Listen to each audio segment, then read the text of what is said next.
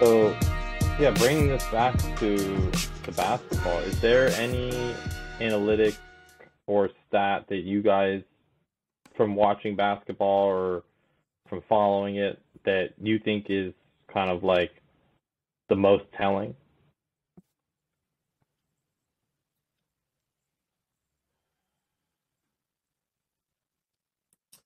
I think it depends on the position. Um, but I'm always curious as to a, a main ball handler's assist to turnover ratio or a team's assist to turnover ratio. For like the main reason is how how free flowing is your offense?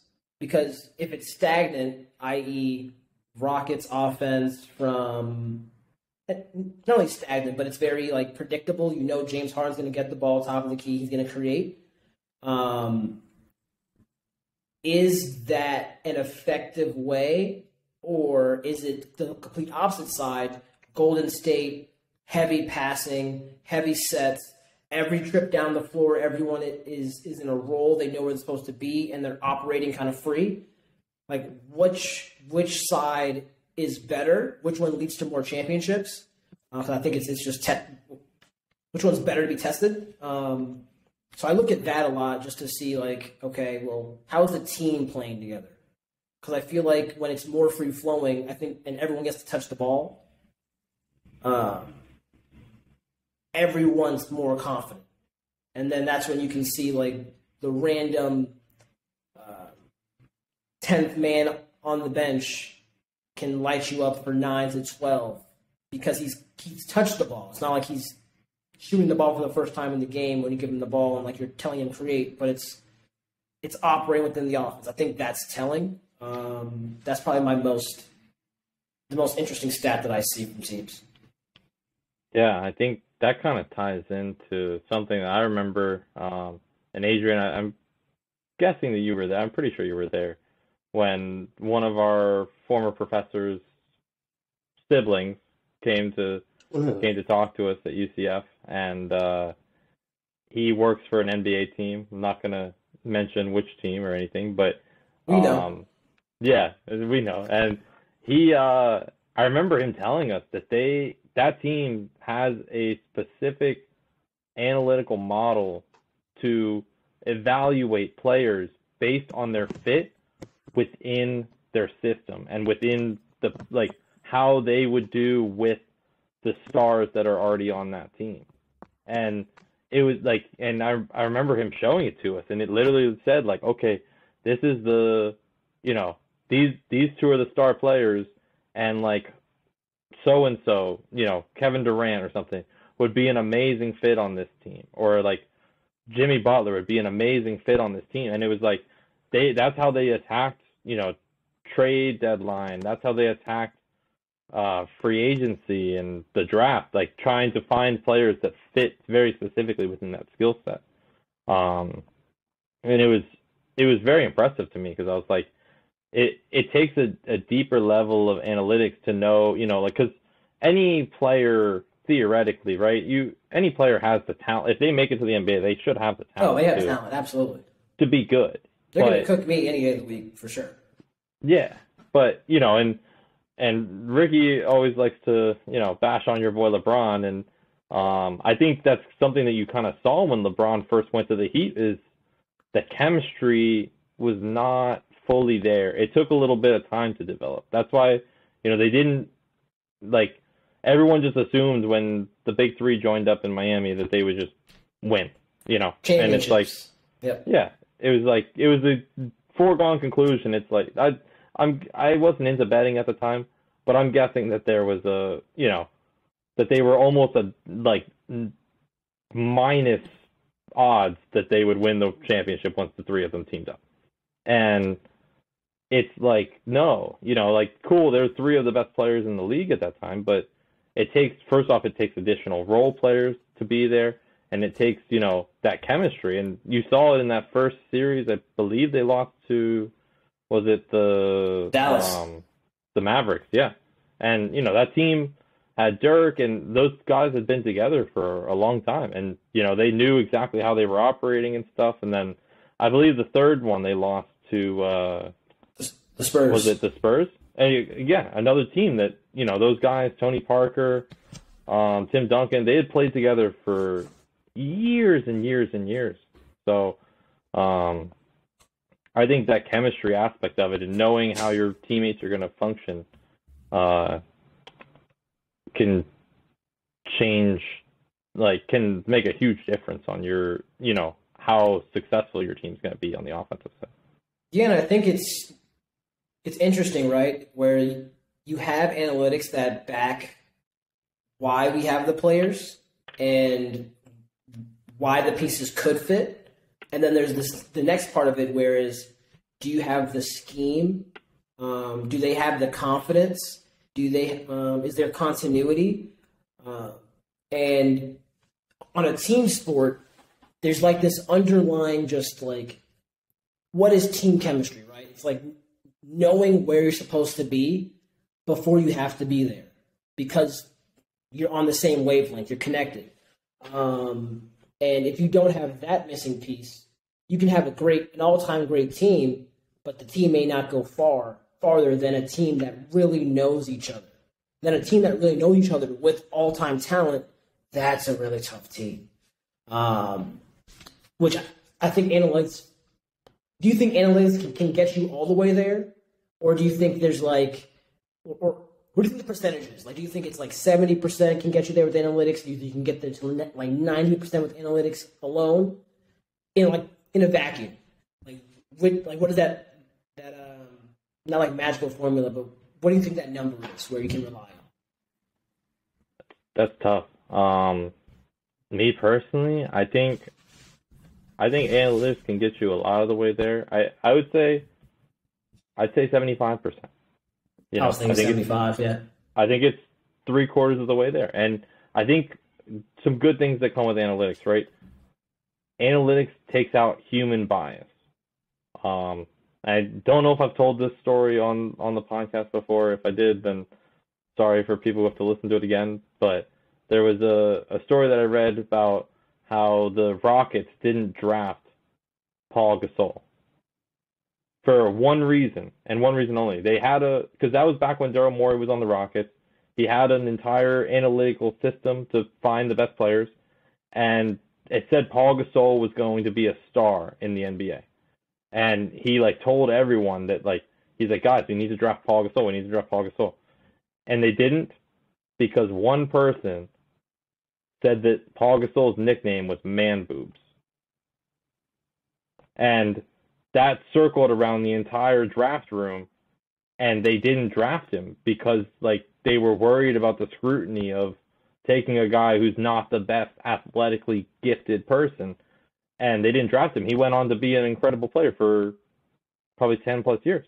And it's like, okay, you the analytics told you that that was going to be the best player and you ignored them and you went with human bias, you then missed out. So I think, you know, I think taking out that human bias, I think that's why I really think 75% because, and also too, there's so many examples of like, if players really can buy into analytics and use them properly and be taught how to use them properly if they don't already know.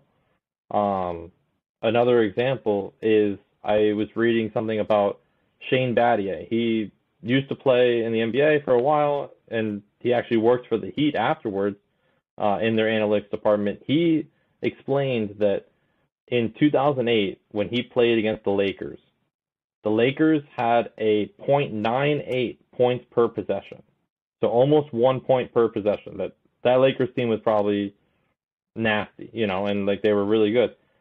And Kobe Bryant was shooting when he shot the left-handed pull-up jumper, he was shooting it at a 44% clip. So 44% times it being a two-pointer, that's 0.88 points per possession. So he knew every time that he was guarding Kobe Bryant, he wanted to make him shoot that shot because it was less points per possession than what the Lakers team in the, as a whole was averaging. So it's like that's something that's so intricate, that's so like, absolutely needing to study the the team and the people you're going up against but it can make such a big difference because point one points per possession doesn't sound like a lot, but when there's 120 possessions in a game or 150 possessions in a game, that's you know that's 15 averages. points. Yeah. That's 15 points. You're going crazy there. Um, but yeah, what about you? I mean, I know you said uh, 75% as well. Do you want to explain that? Yeah, and it's for that exact reason, right? Because um, take any given game, right? Where you're in the NBA, you got here for a reason. Anyone can go off for 25 to 30. It's just, I I firmly believe that. On a good Yeah. night, anyone can get 30. Um, but that's where analytics come into play, where you want to, you can systematically choose via your scheme and analytics who you would like to get 30. So if you look at that first Golden State team that played LeBron in the finals and LeBron was down Kevin Love and Kyrie, their whole game plan was we can let LeBron score every point or we can get rid of the help they made a choice. Now LeBron still averaged like what, twenty, like thirty and something, like Sure. LeBron numbers. But because there wasn't a second guy that was giving him twenty four, you you now have a shooter's chance, even though he took him to a very tough six himself. A year later, LeBron has Kyrie they battle back from 3 1 down. It's 3 1. What's the game plan? You know Steph Curry is electric. You know Klay Thompson is electric. Who do you force in that situation? What is the game plan? You know that they're going to take X amount of threes a game. You, but you also know if uh, you can't guard three guys, you can only double one guy at a time. Do you force the ball to a Klay Thompson? Do you force the ball to Steph Curry? Via your via their research, they can decide, okay, based on what we're gonna do, we're gonna execute on this and hope this sticks. When people say like we had a great uh, had a great game plan, I always wondered what that meant. And they just focused on we're just gonna let this person get 40 because we know that the others if we if we can restrict their confidence to shoot and they get five, well, on a ten man, ten to twelve man team, you have five points from five points each from ten guys. That's fifty points, and one guy gets you thirty. Well, that's eighty points. I think as a team we can get to ninety six. Well, you just won the game. Focusing on one guy, allowing him to get forty. Get hot, great. You shoot, have a blast. No one else is scoring though we're making sure we're taking everybody else away. So I think analytics can get you definitely a 75% of the way there. Um, and then the rest of it, I think, is chemistry, talent. Um, and I, I, with all sports, you need a little bit of luck. You need luck. Um, whether it's one person you didn't think to get hot gets hot, i.e., this is probably my fa- favorite LeBron story ever. It, it was Gilbert Arenas is at, at the free throw line. He could ice the game. And apparently they played cards back in the day or something um, with, with Dante Jones.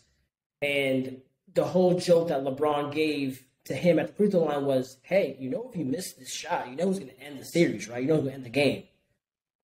And no one knew what that meant until Gilbert came out and told this story like uh, maybe a year ago, a couple months ago, on his podcast where he's like, "We used to play cards. It was me, LeBron, Dante Jones, and I knew exactly who he was talking about." And I was like, "Dante Jones hasn't even played this game. Like he hasn't. He's done nothing. So, what do you mean if I miss this shot, Dante's gonna?" But via the analytics, they knew they're not going to let LeBron shoot this ball. So who, would, if they're bringing help, they know that someone's going to be open. LeBron is top three in terms of passers in the game ever. He's getting the ball to Dante Jones in the corner, and what does Dante Jones do? He hits the highest percentage shot on the court, ends the game. Craziness. Like, best play, analytics says that that's the best shot. He's the most ready to take that shot. Kobe would have just took the shot. Completely understand that. But the best analytical play would have been get the ball to the weak side corner where he's wide open. He's no, no one's gonna be able to close out in time. No one's anticipating a this pass to be made or even caught. But that's practice and chemistry, knowing I can get you the ball there, be ready to shoot. He shot it, ended the game. Gilbert's now like, damn, I just lost the game. I could I should have just hit two free throws. Um, but I think that's really impressive, where it's like analytics meets talent. Like if it was any other person, could they have made that pass? Maybe. I know LeBron can. Um, but that's like that next level where analysts can get to the corner, but you have to have talent to get it there. Yep. Ricky, welcome back. Um, Spectrum missed- got me again, man. Spectrum got me again. But uh, I, you know, Tough. I, I, I, imagine you guys held it down, and Adrian, you know, giving some great analysis as well as you, Sean. So, do you guys go into like the future of analytics in, in the NBA? What do you What do you think that's gonna? Where that you think that's gonna go? We didn't, but we can go there. Um, I just think the game either does one of two. Like it, I think it's just going to speed up, and players are going to have are going to catch up to that. I.e., we went through a big man stage and then it became a small guys like a guard game. Now you have Victor, who is seven, God, seven two, seven three, hmm. who moves like Kevin Durant, who can block shots like Joel Embiid and Anthony Davis. Like he's a walking thirty and fifteen. How are you going to compete with that? How can size wise, who can move who can guard one through five because he's agile. He's not like heavy set. So if the game is moving to more analytics, now you're going to see big guys that are dominant.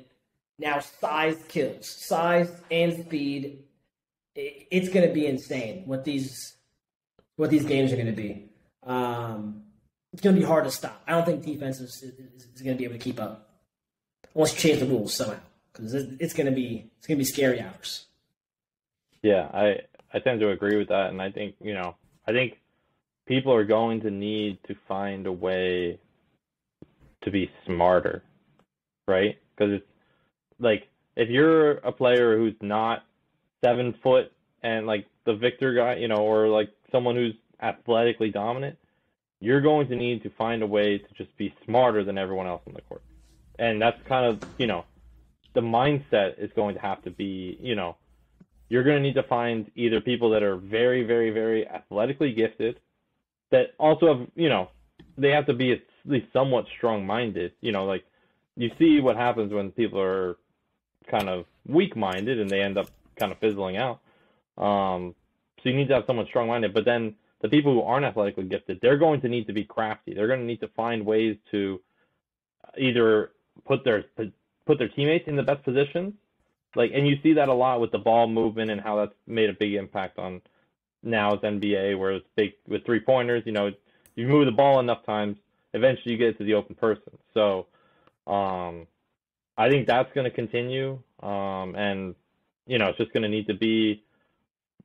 People are going to need to find a way to to put themselves or their teammates in the best position to score, as opposed to, you know, the one guy who's like, oh, I'm gonna do it all myself. That's it's just not gonna work like that, you know. Like, and it hasn't worked like that for a while. That's why these super teams became a thing. Is because one guy really doesn't do it by himself anymore. He does like I think the closest thing to doing it by himself was, you know, Giannis when he took that team, but he had he still had, you know, solid team all it wasn't a super team in my opinion, but he I would agree with you. That's the closest guy that's kind of took it on his shoulders, main the main main man status.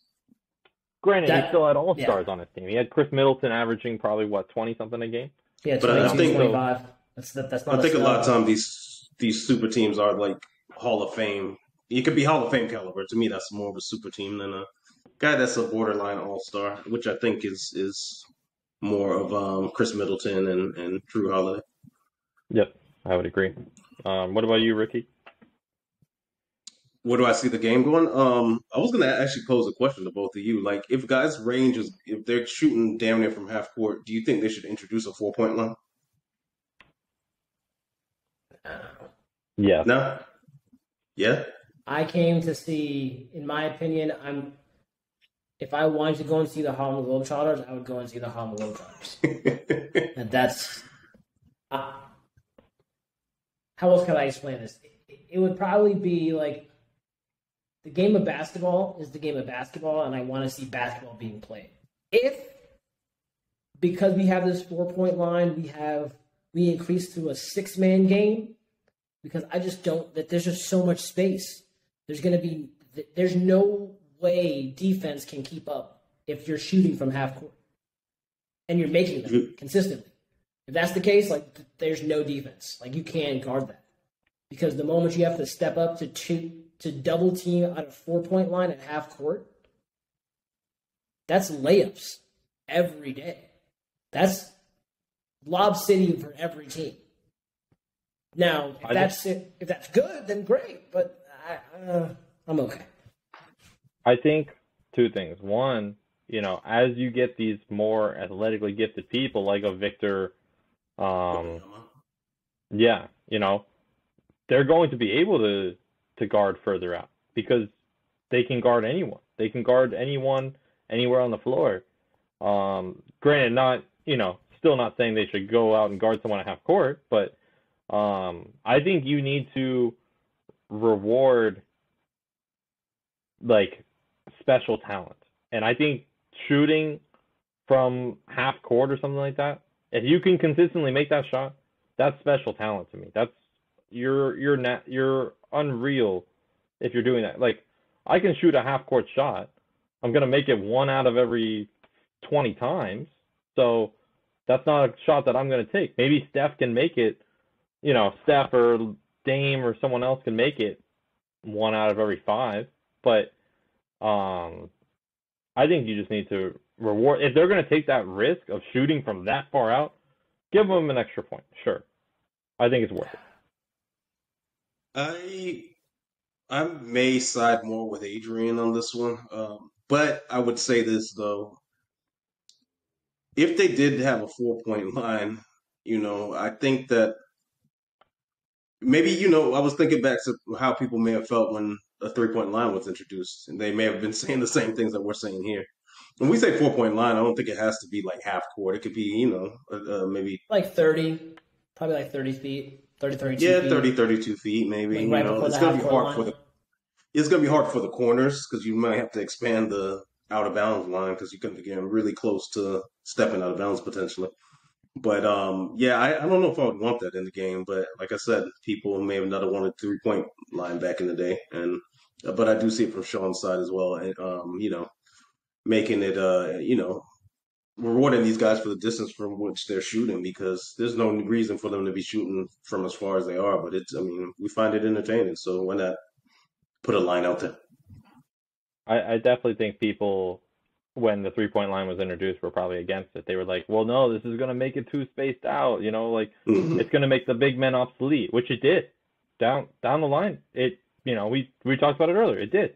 You know, you don't see the big guys who can't move very well because there's a three point line. I think a four point line would do the same thing, but it's exciting. If people want to see people want to see craziness. So adding a four point line is craziness. So oh, yeah. that's why I think it could happen. I mean, and maybe should. Uh, and I'll caveat mine by saying like, hey, I can be wrong because I was wrong about the play in. I didn't want the play in tournament. I thought it was dumb. I'm sure you love it and now. I love the play in tournament now. I think it's mm. it, it well for two reasons. It made what's happening in the West like the playoffs are started after All Star break because they're separated by a game or two. So if you go on a three game losing streak, you're out the playoffs you go on a three game win streak, you up three or four spots. I think that's exciting. It added like a, a new element, um, a new in season element to the back half of the season, to where those that got off to a really hot start, you had Memphis, you had Sacramento. What a come up for Sacramento! Like they they never sniffed the playoffs for the past five ten years, but because of the way that they started, and even at the tail end of last year, they could have snuck into the playoffs. It, this year, they're now being rewarded for having a great start by not having to be in this situation where every game you have to win. Like every team that's from six to twelve has to win every game, and even if you win every game, you might not get into the playoffs. So I think that's a, it's a much more exciting um, dynamic. Uh, so maybe the four point line is get to, and maybe I'm just thinking about it way too rigidly, and I'm being old, and maybe we just have to throw it in there, and then the game will evolve again um, in the way that like three and D guys are going to be even more important. Because if you or I guess four and D guys, guys that can hit a four point shot but also defend half court, like that's going to be a guy that's like okay, that's the new Danny Green. I can hit some corner threes, I, I can hit some corner four. I guess you won't have any corner fours. I can hit some like wings, um, four point plays, four point threes, and also defend at a really high level. Like you earned your spot in the league now because we need those guys to, to fill out our roster. And if you're a star player, now from the basket to half court, I'm deadly. That's going to raise a new question on like the best player in that era. Are they the best player ever? I don't know. I maybe it's and hard. The other the other thing too. Let's say you're down 12 points. If there's a four point line, that's that's three that's, shots. That's three shots, three possessions. Yeah. Imagine, imagine if you get fouled, a five point play. Yeah, that's that's two That'd buckets and you're back in it. That's gonna be that'd be so deflating if I was on the other team. I like led the entire game, and then it came down to two shots, which now I'm gonna say it's gonna be all luck. Ah, you didn't practice those shots. Those are that's luck. You got. Or here we could do. What if for those shots it has to be a swish?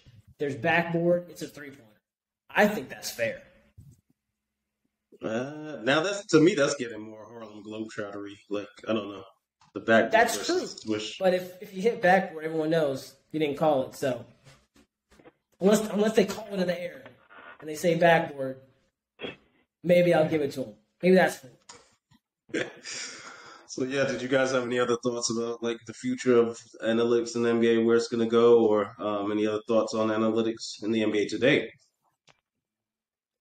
Yeah, I think um, while analytics has been strictly for the game, I think we're going to see a lot more analytics around um, preparation um, and around recovery. I think recovery of athletes is going to is, is to be paramount for these next five to ten years because we've seen an influx of injuries like we have never seen due to the speed of the NBA. Um. And can we reduce some of the ACL tears, the MCL tears, the non-contact injuries, um, the hamstrings, the banged knees? Um, can we reduce those due to analytics in, in the recovery side? I think that's going to be interesting to see. Yeah, playing off of that a little bit. Um, you know, an- analytics and technology in general, right? Um, using it as a tool to evaluate players. Um, I know something that I believe they've tried to evaluate, or maybe they they do, is you know like, and I know they do it for quarterbacks. It's like how fast your release is.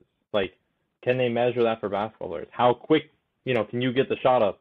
Like that's something that I think technology could play a part in, and you know potentially our technology play a part in because it's something that can be, you know, used in that kind of a setting a little bit better than than some of our competitors. Um, and I, I kind of see that as the future as well. Just you know, getting more information about players and about their like their talent, um, and you know, and also their health metrics. I think that those two things are going to be really important going forward. I think the future is us, Extropian. Uh, it's funny. I was talking to a guy that was working with the Orlando Magic. He was working um, at Orlando. Uh, wasn't Orlando Health. He was working at Advent Health, and he was doing some type of uh, you know sports medicine, like you know, kind of tracking the athletes, um, you know, oxygen level and things like that, hydration. And uh, he was telling me that they would have to come to the you know to their center to evaluate those things so he said he would go there on game day and he would kind of, um, you know, test the athletes and their training and everything. But what what they were doing, what he was finding out was many of them were like going into the games like super dehydrated for one. But you know, I told him a little bit about what we were working on. We had like a good conversation. He's like, "Man, what you what you guys are do gonna bring to the game um, is what we were trying to do in our facility with like various pieces of equipment." So I was like, he was like, "Man, you bring this to the game, it's gonna it's gonna be a game changer." Because a lot of the things that we're finding out about these athletes, um, they weren't they weren't privy to on game day or in training you know, which could lead to the, you know, the hamstring pulls, the, the ACLs, the non contact injuries, soft tissue injuries, they call them these days. So, you know, we're definitely the future. I think the future too is connecting fans and with their favorite athletes in a way they haven't been connected before. Um, and obviously, you got all everybody on here knows, and you know, our audience will know in the future like what that means from our perspective. But I think we're going to be able to do that. I know we're going to be able to do that in a way that nobody else has. So, just feeling connected in, in a way that you never have to, to your favorite um, player, your favorite fighter, your favorite uh, athlete. I think we're going to really bring that to the forefront, and that's going to be really incredible because the one thing is you want to, you know, you want people to be more, invested in actually attending the games, but also you want to incentivize people for watching at home. And I think we have a lot of amazing tricks up our sleeve on how we plan on doing that. So obviously, you know, with all that being said, you know, we love talking about data. We love talking about analytics because that's what we do, you know. And we, while we love what's out there right now, we think we have, you know, we're taking things a step further, and uh, we're going to be that game changer that, uh, you know, people might be talking about us on the podcast about what we've done for the game. So we look forward to that. So that's where we work hard. That's where we grind. That's where we go through these uh, these ups and downs that we go through, and you guys will see that uh, when we finally reveal everything that damn this is this is incredible. This is going to change the game. And it's it's always incredible too talking to people because anybody you talk to they have their respective sport they love and they can see man i can see you guys' product being used there. You know it just it doesn't even matter. From f1 to ballet I've, I've heard everybody say man i would use that if i if i had that in my respective sport or my respective hobby. So we're excited about it, and uh, that's why we love talking about all these different sports because um, you know data is the future. Data is uh, going to help everybody, even every all of the uh, you know anybody running on uh, at home or anything. Any you know the weekend warriors. Data is there to uh, make us all better, and uh, we're going to be on the forefront of that. So we're excited. So with that being said, you know, as always, we want you guys to chime in. Um, you know, subscribe, like, comment. Um, also, you know, share our podcast with anybody else that's into technology, into being the best version of themselves, and to, uh, you know, trying to find out what we're building. You know, we're very secretive about that, but you know, um, we want to build the hype and build the momentum and just un- unleash on the on the world this amazing product. So, that being said, you know, I hope you guys have another excellent week. And uh, you know, we're built different, and we want to help build others different. So, thank you for joining us again, and thank you, Adrian, for hopping on with us today. We want to have you back on again. Absolutely. Anytime. All right. Peace out, everybody. Take care. Peace.